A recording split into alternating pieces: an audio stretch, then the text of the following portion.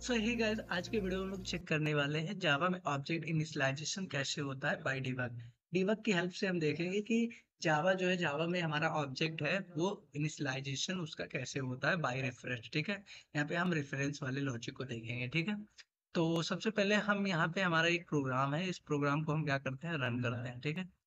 तो run as Java application तो यहाँ पे हमारा ज़ीरो नल पहले प्रिंट हुआ और बाद में हमारा वन और अभी प्रिंट होगा, ठीक है?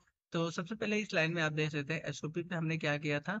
आर डॉट आई और आर डॉट नेम को प्रिंट कराया था। बाई ऑब्जेक्ट हमने क्या किया था? फ्रेंड्स को प्रिंट कराया था, ठीक है? तो अब यहाँ पे क्या हुआ? हमारा जो डिफ़ॉल्ट कंस्ट्रक्टर होता है, उसने क्या कर दिया? इसमें इनिशलाइज कर दिया आईडी में ज़ीरो और नेम में हमारे नल ठीक है? बाय डिफ़ॉल्ट कंस्ट्रक्टर होता है हमारे क्लास के पास, ठीक है? उसके बारे में हम बाद में पढ़ेंगे, ठीक? फिर इसके बाद हमने क्या किया? नेक्स्ट लाइन के बाद हमने यहाँ पे आर डॉट आई डी पे हमने क्या स्टोर करा है? एक। बट क्या था? ज़ीरो था। ज़ीरो से ये अपडेट होके वन हो गया, ठीक है? फिर यहाँ पे हमने क्या किया? आर डॉट नेम जो कि नल था, अब यहाँ पे हमने इसमें क्या अपडेट किया? रवि कर दिया, ठीक है? बाद में हमने एसओपी कराया आर डॉट आई डी और आर डॉट नेम को हमारा क्या प्रिंट हो गया है? वन और रवि ठीक है? इसी को हम डिवर्क करके चेक करेंगे, ठीक है? तो सबसे पहले हम क्या देखेंगे यहाँ पे? ये हमारा डिवर्क का बटन ठीक है? इसे हम क्या करते हैं? हम इसे ऑन रखेंगे, ठीक है? और अगर आपको डिबग नहीं करना है तो इसे ऑफ़ करिए, ठीक है? तो यहाँ यहाँ पे हम इसे ऑन रखते हैं, ठीक है?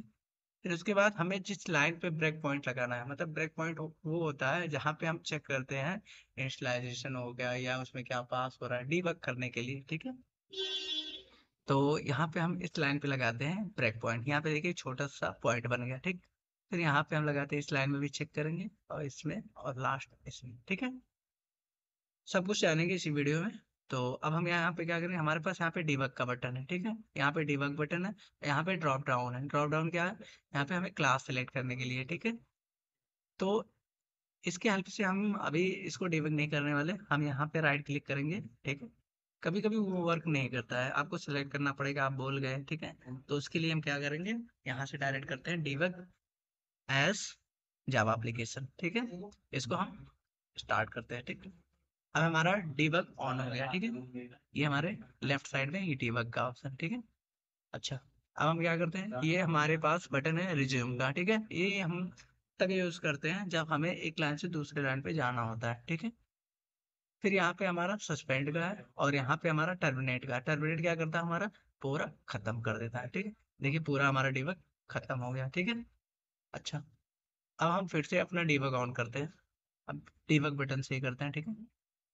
फिर से हमारा डीबग ऑन हो गया, ठीक है? अब हम यहाँ पे दो बटन और हमारे पास है, स्टप इनटू है और स्टप ओवर है, ठीक है? स्टप इनटू क्या करता है? उसके अंदर क्या है? वो चीज़ों को दिखाता है और स्टप ओवर क्या करता है? नेक्स्ट लाइन पे जंप करा देता है, जैसे कि यहाँ पे यहाँ पे आ गया, ठीक है? नेक्स्ट लाइन पे आ गया, ठीक? और अगर हमने कहीं पे डीबग नहीं लगाया तो उस लाइन पे भी जंप कर देता है, ठीक है? अच्छा इसको हम क्या करते हैं? इसको भी हम खत्म कर देते हैं, फिर से हम डिबग ऑन करते हैं। अच्छा अब हमारा रियल चेक होगा, ठीक है? कैसे हम वास्तव में चेक करते हैं, ठीक है? तो अब ये देखिए ग्रीन हो गया। तो ग्रीन मतलब इस पॉइंट पे ब्रेक लग गया है, ठीक है? इस पॉइंट पे क्या हुआ, वो चीज़ देख सकते हैं, ठीक है? तो बाई डिफ़ॉल्ट कंस्ट्रक्टर से इसने क्या किया था? इनिशलाइज कर दिया था आईडी में ज़ीरो और नेम में बाई डिफ़ॉल्ट नन ठीक है? इसको हम चेक करते हैं। ये आर हमारा ऑब्जेक्ट है, ठीक है? इसके पास क्या है? आईडी और नेम है जो कि ज़ीरो और नल है, ठीक है? अच्छा अब इसमें देखते हैं। इसमें भी ज़ीरो है आईडी और नेम में नल है, ठीक है? नेक्स्ट करते हैं। मतलब रिज्यूम करते हैं। अब यहाँ पे देखिए आईडी क्या है? ज़ीरो बट इसमें हम क्या पास कर रहे हैं? वन पास कर रहे हैं, ठीक है? फिर इसमें क्या है? इसमें भी नल है, ठीक है? इसमें क्या पास कर रहे हैं? रवि। मतलब क्या है कि ये जो वैल्यू यहाँ पे थी, उसे हम अपडेट कर रहे हैं, ठीक है? अच्छा अब नेक्स्ट करते हैं। अब यहाँ पे क्या है? आईडी वन आ गया और नेम में हमारा रवि आ गया, ठीक है? अब हम ऑब्जेक्ट पे कर्सर ला के देखते हैं, ठीक है? अब देखिए ऑब्जेक्ट में क्या आ गया? आईडी में वन आ गया और नेम में क्या गया? रवि। पहले गया था हमारा? आईडी में ज़ीरो था और नेम में नल था, ठीक है?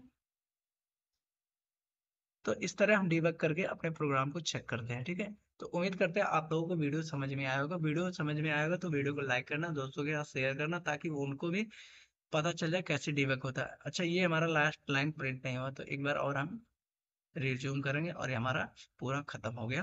क्या? डीबग ठीक है? डीबग जितनी लाइंस थी जब वो खत्म हो जाएँगी तो ऑटोमेटिक पूरा हमारा प्रोग्राम चल जाएगा ठीक है? सो so, गाइस अगले वीडियो में हम लोग चेक करेंगे कंस्ट्रक्टर और मेथड से कैसा होता है। और अगर आपको किसी प्रोग्राम में डिबग करके चेक करवाना है तो उस प्रोग्राम का आप नाम लिख के देना कमेंट में। उसके आ, उसके ऊपर भी हम एक वीडियो बनाएँगे ठीक है? तो उम्मीद करते हैं आपको वीडियो समझ में आएगा। मिलते हैं अगले वीडियो में। आज के लिए बस इतना